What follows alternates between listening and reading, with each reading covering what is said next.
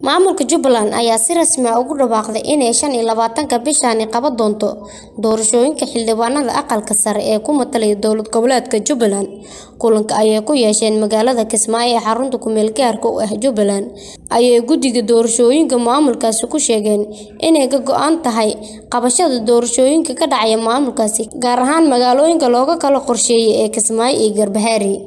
guddiga hirgelinta doorashooyinka heer dowlad goboleed siyid Jubbaland oo fulinaya heshiisyadii toddobiyo tobankii sebtembar kowdii iyo kowdii oktoobar labada kun iyo labaatan oo ay la socoto toddobi heshiiskii kale ee asagana ahaa toddobiyo labaatankii mey iyo lix iyo labaatankii no iyo sagaal iyo labaatankii juun labaatan labaatan iyo kow ee ay madaxda qaranku ka gaareen kaga gaareen madashii wadatashiga qaran arrimaha doorashooyinka dalka ee labaatan labaatan iyo kow heshiisyadaasi oo qeexayay jadwalka muddaysan ee doorashada ee qabashada doorashooyinka xildhibaanada labada aqal.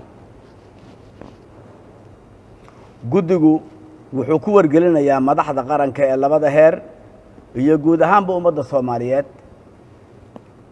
arrimahan hoos ku xusan.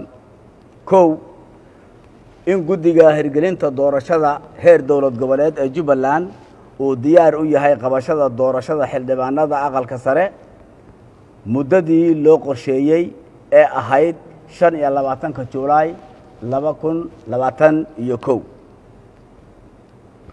Qodobka labaad guddiga hirgelinta doorashooyinka heer dowlad goboleed wuxuu guddoonka baarlamaanka jubbaland ka codsanayaa inay magacaabaan guddi doorasho oo heer baarlamaan ah oo guddiga hirgelinta doorashooyinka jubbaland kala shaqayn doona qabashada doorashada xubnaha aqalka sare haddii alla idmo.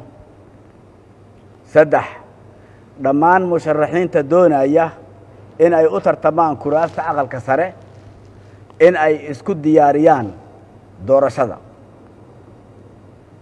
Afar guddigu wuxuu ka codsanayaa dowladda jubbaland inay u diyaargarowdo una diyaariso sugidda amniga doorashooyinkan. Qabsoomi doona in sha allah. Shan guddigu wuxuu sida ugu dhaqsaha badan u soo saari doonaa jadwalka fulinta doorashada aqalka sare oo faahfaahsan. Faadima Maxamed, warbaahinta City.